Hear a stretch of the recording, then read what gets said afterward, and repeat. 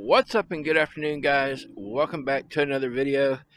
Today we got another special one for you. Got a little gear review um, over a tarp that I've got. So stay tuned and we'll be right back right after this.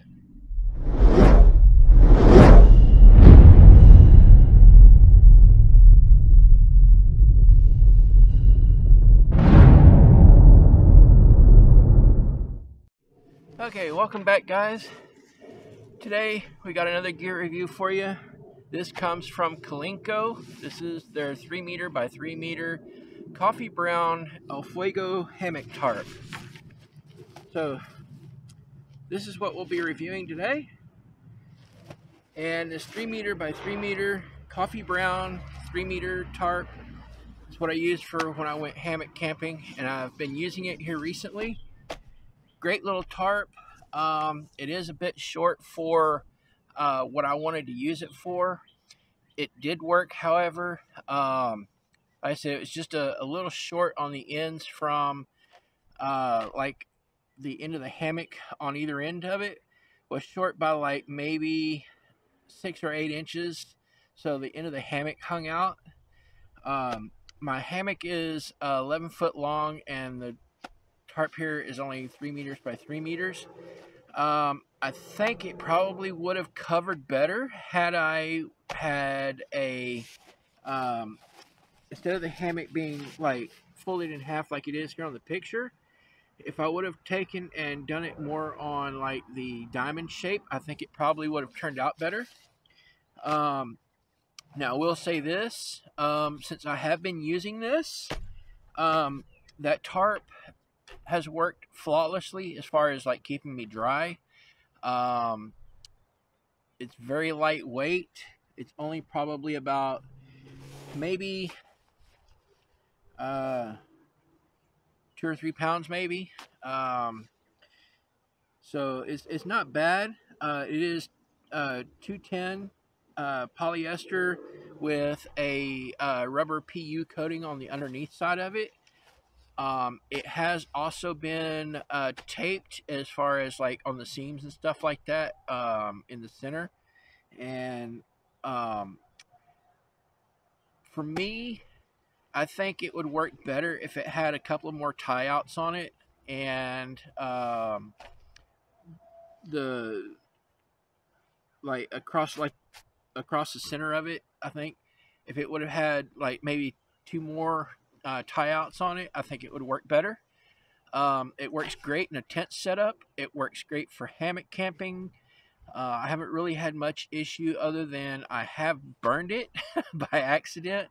Um, I had a, a, fire out away from the hammock, and the wind was kind of high, and it was blowing the the uh, sparks and ashes up into the air. Uh, sparks landed on top of it and did burn a hole through it. Um, but that was in a high wind situation, and I tried to keep my tarp as far away from the fire as I could. Uh, it just that the wind was just unpredictable, um, and like I said, it the ashes it was burning and throwing them up in the air and blowing them onto the tarp, and uh, it did burn a hole in it. So I will say that make sure that your fires are plenty far away. Uh, other than that, I'm going to say that as far as on a scale of 1 to 10, I'm going to say this is probably more like a, a 9, 9.5 maybe. Um, I've set it up in a tent configuration in like two different types of tents. I've set it up on a diagonal on the hammock. I've also set it up in an A-frame on the hammock. And by far, I think the diamond shape on the hammock actually worked way, way, way better. Um, it seems to cover the ends just a little bit more than it would if it was on the A-frame style. So anyway, that is the El Fuegos 3 meter by 3 meter coffee brown tarp. And I'm definitely going to give this thing a great rating.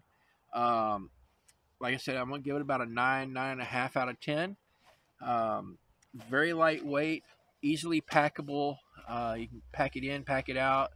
Um, however, I will say this uh, the stakes that come with it will not, I repeat, will not go into the little um, stakeout points. Um, what you'll have to do is you'll have to put like either a piece of string or a piece of paracord or something like that into um, the deal and like tie a knot on it and then hook that onto your stakes once you get your stakes in the ground. Um, the stakes will not go into this. So what I ended up doing was is I went and bought um, an extra pair of just like the little aluminum, just the cheapest of the cheap little silver stake. Uh, got them from Walmart and that way I could stake the back of it down and hold the tarp down to the ground. Um, those little like I guess J-shaped looking metal um, stakes or whatever because the stakes that come with it are uh, too wide and they won't go through the, the loops. So that's the only really downside to it. So let me show you what I'm talking about here. So what I did is I went and bought a few of these here, the little, I guess like the little J shape or whatever, so that I could put them into the little um, hooks on the, the tarp. Because the, the stakes that come with it um, are like those little triangle shaped ones and they don't fit into the uh, pockets real well. So uh, like I said, I just went and bought some extra of those little hooks like this here to use with this particular tarp. Um, other than that, that's really the only complaint that I had about it. Super lightweight. It's got a comes with its own little bag, drawstring. So there you go, guys. That's my review of the Kalinco 3 meter by 3 meter tarp. Hope y'all find it useful. Also, I'll be putting a link down in the description for it. So if y'all want to buy this, y'all can. Um, now, I don't, I don't, you won't pay anything extra, you know, by clicking the link or anything like that. It just gives me a little bit of an extra kickback, you know, um, just a few cents, uh, you know, off the off the sell or whatever. So, anyway, there you go. Three meter by three meter Kalinco El Fuego hammock tarp.